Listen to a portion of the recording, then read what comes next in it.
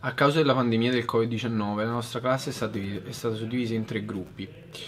E uh, noi facendo parte del terzo gruppo abbiamo analizzato le stories e il mondo dei social. Per il nostro lavoro di cittadinanza digitale abbiamo analizzato il mondo dei social e le stories. Il mondo dei social inteso come una realtà smaterializzata dove ognuno di noi può crearsi una nuova personalità oppure mantenere la propria è stato molto interessante analizzare come il mondo dei social uh, abbia avuto un'influenza sul, uh, sul, mondo dei lavoratori. Ci siamo mossi attraverso interviste uh, tra commercianti e, um, e, persone e abbiamo intervistato anche Niccolò Calimani e Valentina Vigato.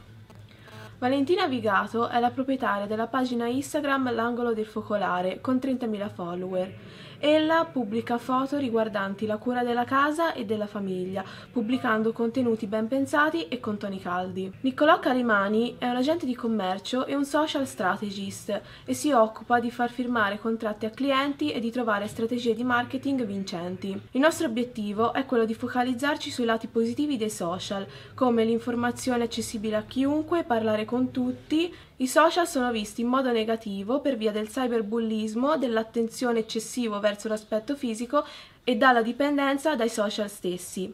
Il nostro obiettivo è quello di focalizzarci sui lati positivi. Sono Valentina Vigato, fondatrice di L'Angolo del Focolare, canale YouTube, eh, sito internet, pagina Facebook, Instagram e mm, così via. E la parte più importante appunto del, della mia attività è eh, fare corsi online, infatti ho fondato l'Accademia dell'Arte Domestica. Parlando delle stories, ti volevo chiedere eh, come le utilizzi principalmente. I miei post tendono ad essere talmente perfetti, talmente belli che la gente ci si relaziona poco, ok? Ti ci ritrovi poco. Quindi quella cosa io vorrei cambiarla. Mentre le stories per me sono più immediate perché è come se ci facessimo una chiacchierata io e te. Ti faccio vedere proprio le difficoltà della mia quotidianità. Cerco di mostrarmi anche struccata, senza filtri, eccetera.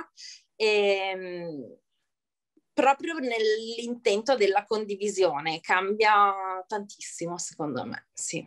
E, ehm, ogni quanto le pubblichi le stories? Mm. Quotidianamente, più okay. volte al giorno. Usi uh, le stories e post per cose diverse, tipo se vuoi pubblicizzare un prodotto? I post me li chiedono poco e stanno tendendo anche a chiedermi sempre meno i video YouTube perché preferiscono le stories, i clienti sponsorizzati, ok? Se ti devo promuovere un prodotto. E qual è il lato che trovi più negativo del tuo lavoro? Il costante giudizio e confronto con le persone, però penso di aver eh, realizzato il mio sogno di bambina.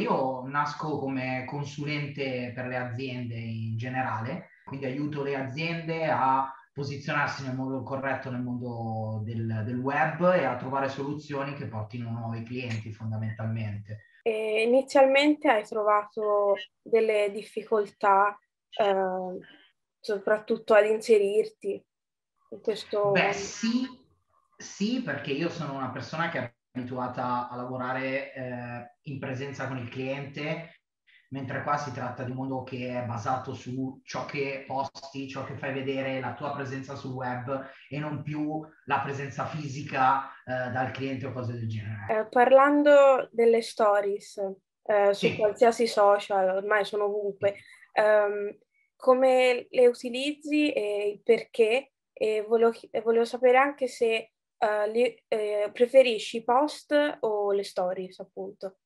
Allora, diciamo che le, allora, le stories sono diventate, secondo me, la realtà vera della persona che sta dietro ai social. Le utilizzo spesso come rimbalzo del post. In generale, che cosa pensi dei social?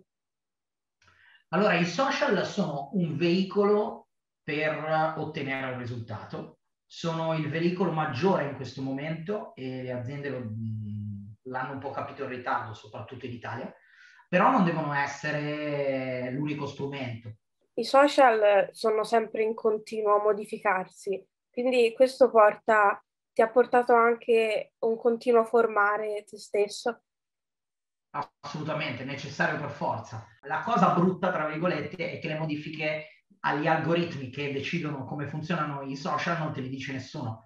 E quindi bisogna, come al solito, tornare alla qualità dei contenuti piuttosto che alle robe pirotecniche che poi però non portano a, a nulla, ecco.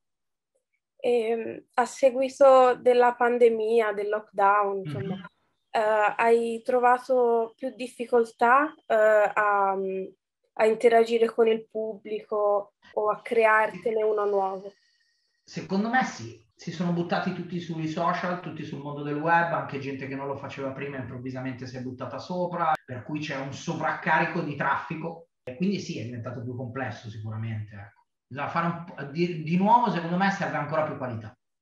Eh, dopo la pandemia hai cambiato uh, qualcosa della tua strategia per uh, attirare uh, più persone o hai lasciato comunque la tua? Eh, forse le persone hanno capito ancora di più l'importanza dei social, la proposizione unica di vendita deve essere ancora più forte, perché se prima eravamo in 20 a essere sui social, adesso siamo in 500, ecco, capito? Qualche lato negativo del, dei social, del tuo lavoro in generale? La mancanza di contatto, io sono abituato a stare a contatto con le persone molto di più, che mi piace molto di più, la mancanza di professionalità, nel senso che sui social tutti pensano di poter lavorare come lavora un professionista, ma non è così. Lavorando con i social, dato che creano comunque una certa dipendenza, hai notato che di essere diventato dipendente dai social oppure no?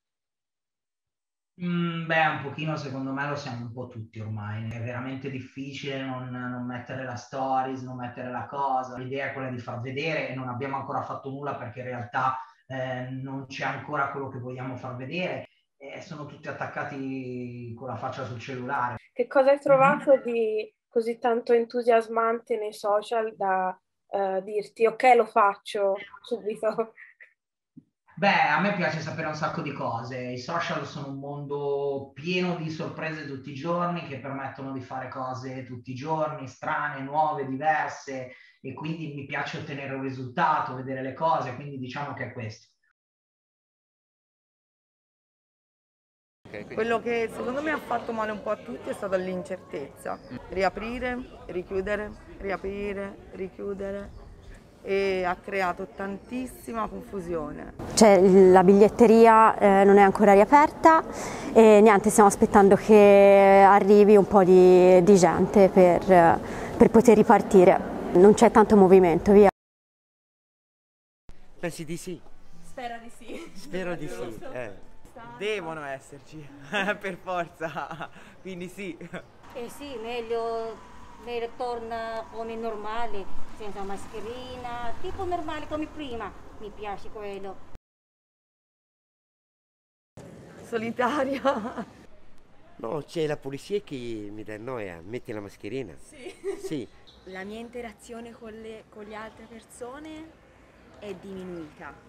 Sì. Perché ora Beh, con, chiaramente. con tutte queste cose qui sono diventata anche un pochetto più paurosa. Molto complicata e difficile e purtroppo non vediamo ancora la fine, speriamo che sia vicina ma, ma speriamo che settembre-ottobre sia tutto calmo ma non ci giurerei e sarebbe un bel problema perché già più di un Beh, anno e mezzo così è una situazione molto complicata.